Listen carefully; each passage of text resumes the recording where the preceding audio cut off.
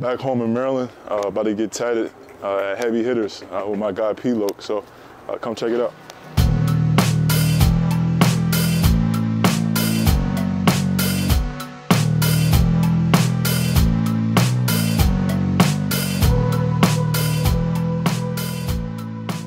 And then so shifting into your new team, I want to ask you for both teams. But so on Atlanta, who do you think's got the worst pain tolerance if they're getting tattooed? Worst pain tolerance? I don't even know Atlanta. Uh, You better throw under the bus, bro. worst pain tolerance? I can't even answer that one because there's a lot of guys on the team that don't have tattoos, you know. So So give me Detroit. You know the Detroit guys more. Detroit. We got a lot of people that's tatted on Detroit. Let me see. That's a tough question, bro. That's a tough question. Whoever doesn't like needles a lot. Yeah, we it. asked PJ, no hesitation, said Mello. For real? No hesitation. he, said, he was like Mello 100%. I gotta see somebody get tatted. It's great. That's that's the, that's the real thing. I have never seen somebody get tatted before. Yeah. So I would be able, you know what I mean. But if I was able, because when you when you come in the locker room, you could be like, oh yeah, it was nothing. Yeah, yeah. You know what I mean? You're sitting there But, jumping, you know what I mean? shaking. Yeah, yeah. I was if I was able to see it, I would be, I'd give you a better answer. But when you come in, you go, oh yeah, man, I was light. You get capped easily. Everybody says it doesn't hurt once it's done. No, yeah, we asked PJ and Book Knight. They both said mellow, like without even a thought They must have saw him get tatted. Yeah. Must have been in the room with him. Well, they said he uses numbing cream Bruh. for all of his tats. So, uh, well, me, I don't think that's bad because people get put to sleep. Yeah. Nah, you know what I mean? Like people get anesthesia and it's people who, you know, like just because I feel like some people got regular t- tats and they just want to like, go to sleep. You know, what I mean? sometimes you just don't want to have to feel it.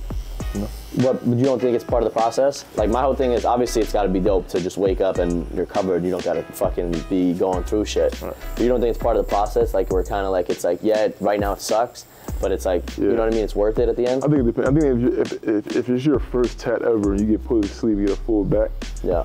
or whatever, it's tough. But I feel like people who, a lot of people who get those already had tats. Mm-hmm. You know what I mean? It is like, you know what, bro, I just want to get another one, bro, and just chill. Well, Uzi did his entire front and back like cover up under anesthesia, and it was like ten artists. That's crazy. Yeah. Yeah, Like crazy. woke up fucking blasted. I think he did two days. Yeah. That's Ja. You seen Ja just got his entire back. He went under for that. That's crazy. And it's like four or five artists on it. As an artist, what do you think about that? I'm I'm a little, I'm a little uh, yes and no, bro. Like, I, I also, well, I feel like I'm gonna get a lot of shit talking because I don't have any. Yeah. But I feel like I like the concept that you have to earn it. Yeah. So I like that concept. And there's a lot of people that like, they'll sit there and, and they'll take it even if that shit does hurt. But then I also see it from like athletes and tattooing so many of them that, first of all, their time is like really limited. Yeah. So I feel like for them to complete a full back, they're gonna have to go for at least like a week straight, you know? At least if it's just with one artist. But uh, getting it done all at once, it saves a lot of time, and then you're getting put to sleep, so it saves a lot of pain. Um, I've heard that even when you get put to sleep, you still wake up with like, you know, certain little like side effects, like you're laying so much on your back that like your tailbone hurts or like your Yeah. shoulders are like sore. So I feel like you still wake up with like certain pain. It's just not like tattoo pain. But um, I don't know. I kind of like me personally. I feel like it's kind of cheating. Yeah. Yeah, like I'd say take it like how you took your three days, or like Saddiq how he's taking you know fucking seven days now. So that's what I think. But then again, I don't have any tats, so you But what about okay? And then what about just the the aspect of working with several different artists on one project?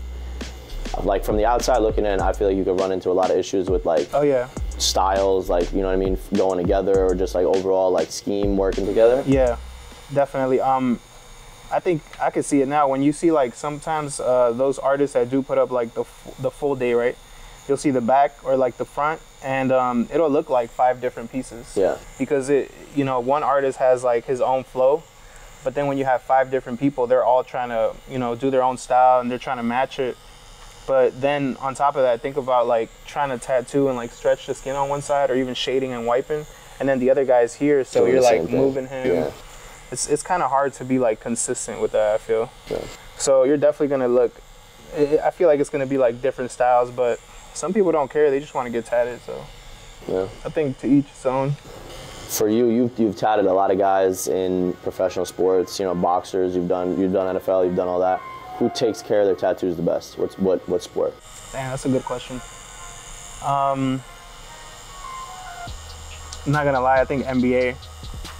Um, And this ain't because he's sitting right here getting nah, right now. yeah. I mean, I haven't tattooed that many NBA players either, but I feel like they just. I feel like even the nutrition's a little different, bro. Yeah. Like I, I kind of see it. Like they, they're a little more disciplined when it comes to working out, when it comes to what they put in their body, how they eat, and then um, I think because of that, even if they don't take too much care of their tats, I notice when they're like hydrated, their skin just looks a little like yeah. like softer. It's it's weird. No, but I was gonna say it's also the least like roughest like football. You're getting Ah, fucking okay. Yeah, that's you know true. tackled nonstop. Boxing, you're getting punched everywhere. Yeah. Like scraped up, different scars and all that. I feel like the NBA. I mean, you guys do get scratched up like crazy, like on on your arms and stuff. But I feel like I feel like yeah, that makes sense. Like from the outside looking in, at least. Yeah. And then true. just not let's say not healing wise, but let's say like taking care of them. Who's been or, or had you had like when you're tattooing these athletes, right? It's like a different clientele. So when when somebody's a, a professional athlete, like you and me, I took a week off from working out when I got my leg. You can't do that. You know what I'm saying? Because you have to be in the gym. You have to be doing that. So what do you, from the artist standpoint first, what do you like advise to them as being like a, a player and like what they need to do? How can they go around kind of the normal healing process? And then as a player, how do you go about kind of making sure your tattoo doesn't get all fucked up because your workouts? Me personally, I'll recommend putting um one of those like sleeves that they use. The- if it's yeah. like, yeah, like if it's on the arm, I'll tell them like put put one of the sleeves over it because it's breathable. And uh, just if you don't do that, then just try to put you know your your ointment on it for the first week and then Lubriderm. If you're going out in the sun, try to do uh, the sunscreen after a week. Um, just trying to keep it like hydrated because I notice a lot of people, a lot of athletes specifically, they'll let them dry out and then like they'll just completely forget about it. Once like the first week is over, they just stop using the ointment or they'll forget the ointment somewhere.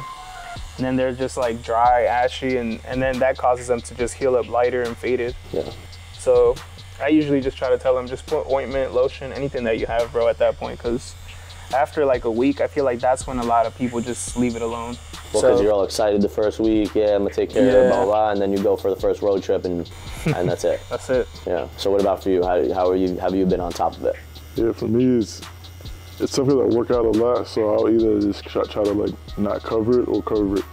So like for like my arms, I just make sure I don't wear anything on my sleeves, and when I work out, make sure nobody's running into it, right? So I just do like work out, don't lean on it, don't lay on it, don't let you know no contact.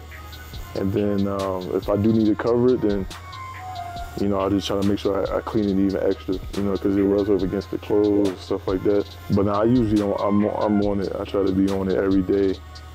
Um, and then once it gets past like the ointment phase and the lubriderm, make sure I do that every, I try to do it as much as possible. But uh, I feel like I could just see it. I could see it in the mirror, like, uh, it's loo- looking dry, or Yeah, you know what I mean. You can just feel it, like, uh, this is not. It's not supposed to look like that right Yeah, now. yeah, yeah, yeah, yeah. So, you know, Do you only get? Have you got a tattoo in season or no? You're only off season. never in season, nah. Only off season. Yeah, only Yeah. off season. I was gonna say it's probably a lot harder because it's like actual game. Right. I know last year Kuzma had a um, like the wrap, like the after skin, and he hit a game winner that game. Over uh, So I was like, yo, maybe it's a thing. tattoos, tattoos give you a little You start getting attribute tatted during the boost. season, yeah. For you, I want to talk more about what we talked before because I really liked what you said about that, where it's like you see open space, you see it as like almost like a puzzle. Um, how do you work on, like, you have an idea, let's say, the Blues Clues thing. Do you know like okay, bicep or arm, or are you just kind of like I want that somewhere on the body, and you let the artist dictate that? I have to think about it sometimes. It's usually a mixture of both. Okay. Um, you know, for sleeve, it's different because I feel like I could put a lot of ideas on it. Mm-hmm. So it kind of, I, I care about where it's at, but sometimes it doesn't matter. Like for a portrait, I like I knew I wanted it on my forearm, right? Or like for the car, I knew I wanted it on the, the back. Yeah. But like shoulder, like like those big pieces, but then how it flows after that is kind of just how it flows. You know what I mean? I usually know where I wanted at, like where I want the tattoo at. You know what I mean? Like for the most part. Uh, but sometimes you might switch it. You know, but the idea does depend like on that. Like I wouldn't get the Blues Clues on where I got my logo at. You know what I mean? yeah. I would get you know that more inside my arm where you can still see it, but it's not like the It's main the focus. piece of it, You know what I mean? yeah. So stuff stuff like that. Okay. And then when you're working a sleeve, um, I feel like the hardest thing, like for me too, whenever I got ideas, it's like, all right, I know I want this, this, and this. As an artist, how do you get the factors of like flowing it? Like, how do you get the in betweens? Because I feel like that's got to be the hardest thing to do. Yeah, I usually like to get the main piece out the way, like at least have an idea of what you want the main focus to be. And I try to put that usually like in the front. Like for him, we knew that we were gonna do the draft piece on the forearm. And that was actually the first piece we sketched out, but the last piece that we tattooed. Well, not the last piece, but one of the last pieces. Um, once I get that, I feel like everything else just kind of, we can collage it together. I usually ask them for a few ideas, and if they give me like a bunch, I, I kind of can like play around with how I position them. But if they're not giving me anything, that's where it gets a little difficult. Yeah. Yeah, so as long as they have like some sort of theme or idea that they want, I think from there I can kind of collage it together and, and try to make it flow. But sometimes, like um, when you're working with, uh, when it's like a like when it's like a stamp, I feel like I can usually just do like smoke around that or something something that'll make it flow with the body part. But if it's more like a portrait or you know anything that's like I guess real, that's where it becomes a little difficult to figure out what I want to do around it because you don't want to put smoke around a portrait all the time, stuff Well, I was gonna say when he came to you and said, "Hey, I want Scooby Doo, SpongeBob, and a portrait of me and my mom," were you like, "How the fuck are we gonna work this into his sleeve?" Yeah, at first I was like, how the fuck are we gonna make that work? Because it was like cartoons and a portrait, so it was like, uh, at first I was like, yeah, how, how's it gonna work? But I feel like after he told me where he wanted it, then I was like, all right, Yeah. we can figure this Well, out. that's why I'm saying you were able to make it flow. Yeah. Where like it looks cohesive, it looks good. But if like from, if I was somebody and you were like, yeah, I want my arm sleeve, I want Blue's Clues, SpongeBob, and and a portrait of me and my mom, it's like I don't like as someone that's not an artist, I would be like, I have no idea how you're gonna make that Yeah, work. Yeah, exactly. I would have been like, yeah, we probably not happening, bro. nah, I think Saddiq was very good at like just knowing what he wanted and sticking to that. So it wasn't hard to just put everything together. And he honestly he wasn't like complicated when it came to how he wanted it. He was like, I know I want this here and I mean even if it looks weird to somebody else, to him he's like it means something to him. So I feel like that's all that mattered at the end of the day. Saddiq, for you, when you get a new tat, um, like I know for me at least, when I get a new tat, it's like I'm ready to go and get another one like a month after. Like it's like once once I feel it again, I'm like, all right, I want to I want to complete that spot. How long do you normally wait between your sessions, or is it more so just availability?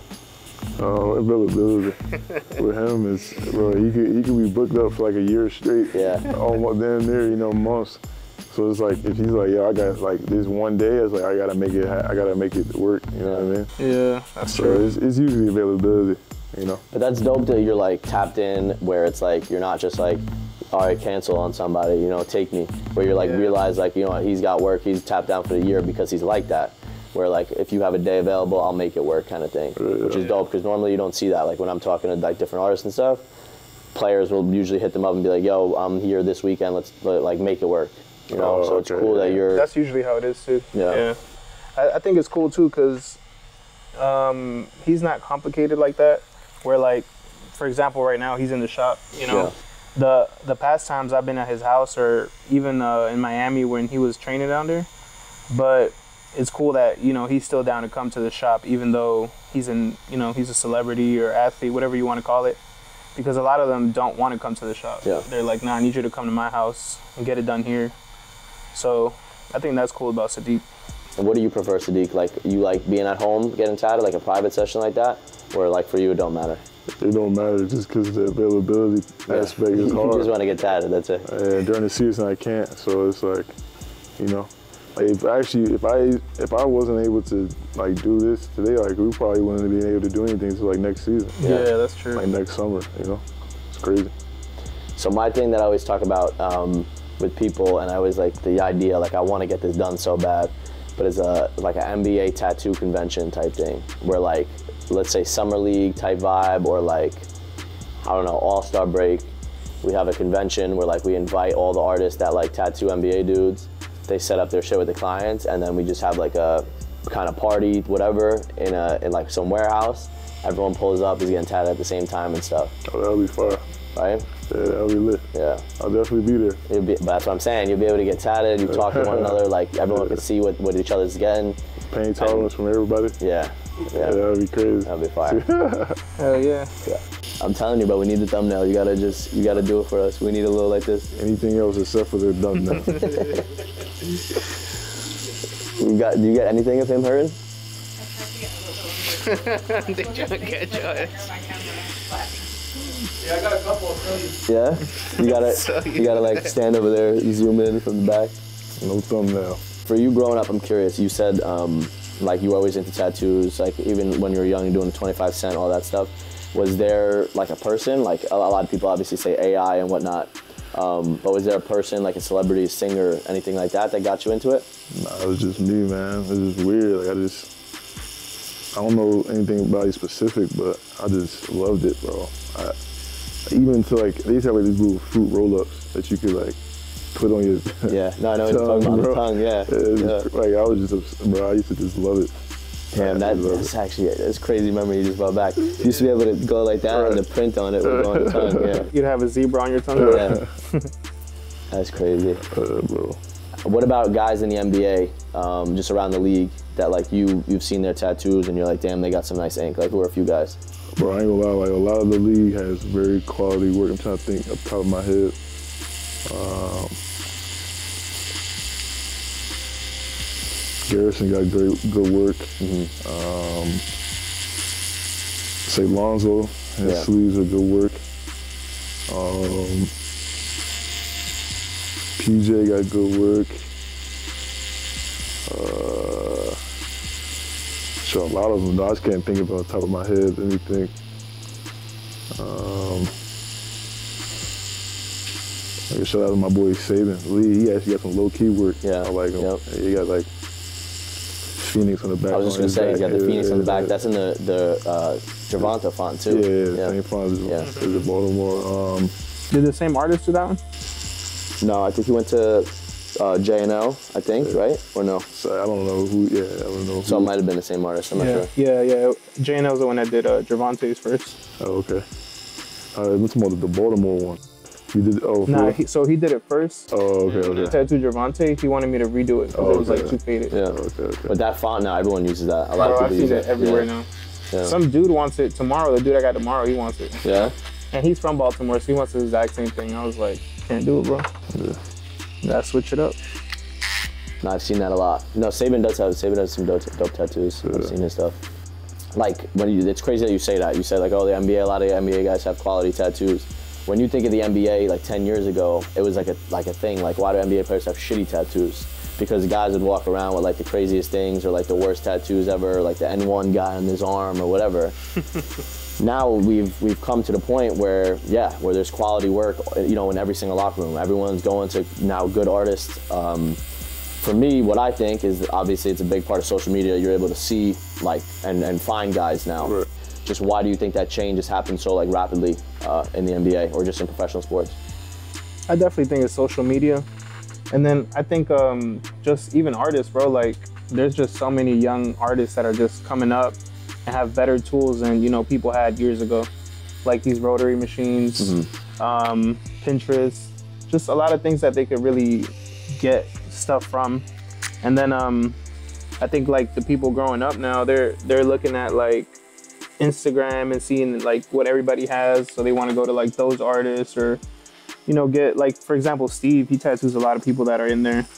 Um, I think a lot of people look at his stuff and, or, or even like pages like yours. You know, like they can really relate. Like I tattoo a lot of athletes that I notice. Like I'll catch them like going through your page and trying to see what That's fucking crazy. inspiration they can yeah. get for their own tattoo. So I feel like it's just a lot of stuff out there that they could use now, and yeah, I feel like it's just the same thing, just circulating that they're just taking ideas from. And what about for you? I think social media is a big part because, or word of mouth. Because for me, it was only like when I was younger, when I first tattooed, I was 17.